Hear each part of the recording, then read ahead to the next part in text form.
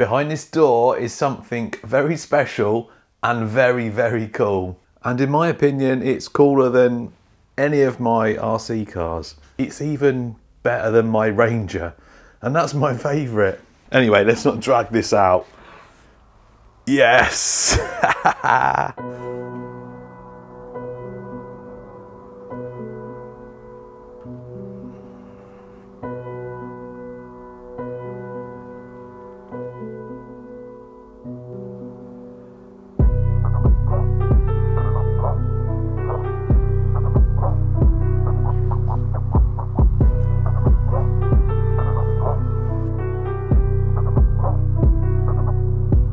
after I don't know how long of searching and dreaming of owning a Mark 1 Hilux, here she is, my new shop truck.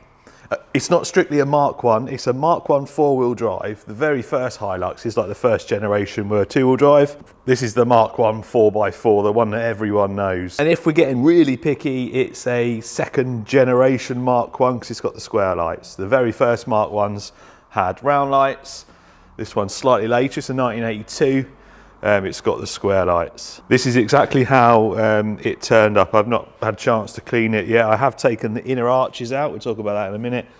But this is awesome. I've just been looking at it. It's just been sat here for a couple of days and I just keep standing and uh, admiring it. What a beast. So this one came from Malta. So a nice, hot, dry country. I've eyeballed it a little bit and there's a few little areas of corrosion. There's a there's a bit right down underneath there. Oh, and there's a couple of bits up, kind of up there somewhere, and over that side. There's a couple of bits under the dash. And that's why the inner arches are out, because I wanted to check right up behind here.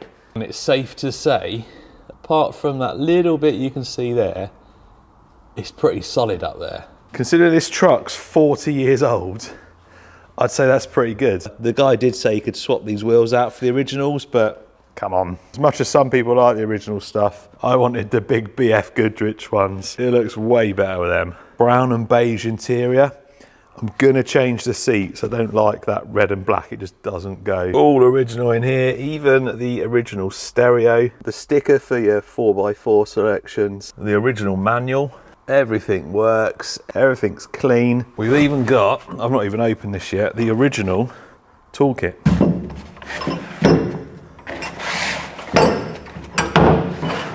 Think they came with like some spanners and stuff, but but original, all original. The bed's had like all this welded in.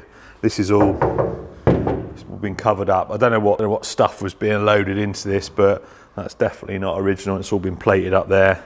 Worst bit really is here. It looks like it's got some filler or bondo as you call it. A few little scabs down here. Tow bar. A good, honest truck. And I love it. This view is definitely my favourite of that grill, that iconic grill. Now, although this, if you look all under the carpet, again, it's all, all solid under there. It's all this purple or this maroon colour. You can see it's got some wear on it. It's got lots of dents and scratches over it. It's obviously been working, which is good, a good honest truck. All that's maroon and stuff all up in there as well. But the actual original colour is red. Looking at the colour code on the VIN plate, red was the original colour, but I think it's been this colour for quite some years. And the fact that it's everywhere apart from in the engine bay means that it must have been completely stripped down. Maybe at some point in its 40 years it's had a bit of a restoration on it, but from what I can see, it's solid, absolutely solid. I mean, look at this chassis. Few little specks of surface rust. I've looked at pickups that are like six, seven years old that have already got like holes and corrosion on the chassis rails. A bit dirty and stuff under the engine, needs a good going over. 40 years old, mad. The old locking hubs as well. This side's nice and free, the other side's a little bit sticky, so maybe need to look at that. Nice and clean under here. 2.2 diesel. I don't think it was available in the UK as a, a diesel. Um, I think we had the petrol. I don't know where else had this 2.2 like naturally aspirated diesel, but it's I think it's a mighty 60 brake horsepower. So what are my plans for it? Well, so before I can register it, I just need to get it MOT. If you're not in the UK, it's basically you have to get them every year. Because of the age of this, it will be MOT exempt, But to register it, you need an initial MOT. So fingers crossed that it passes the checks. And I've bought a load of underbody treatments and Bilt Hamber stuff. I'm gonna clean it all underneath, blast it all off with a jet wash, let it dry, treat it all, rust proof it all underneath. I'm gonna strip out the interior, make sure it's all clean in there, treat the bits that are behind the dash that I can already see. And then I'm just gonna enjoy it for a bit. It's a slow diesel, it's only got a four speed gearbox. People say, oh, they drive like.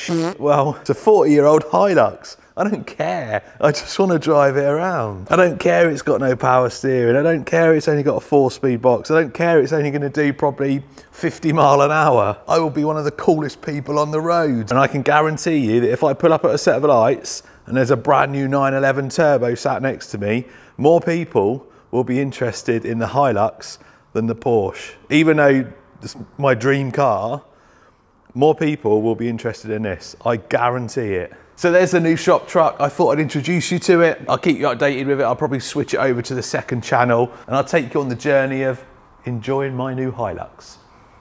Well, I couldn't resist. I had to give her a bit of a clean. She comes up lovely. Much better. Also giving it a blast underneath so it's ready for some uh, chassis protection and I'm not sure I'm going to get away with tinted glass in the UK, which is a shame because it looks good. Before I turn the camera on, I've just been stood looking at it at this angle and then kind of moving over and looking at it at this angle as well. Ugh.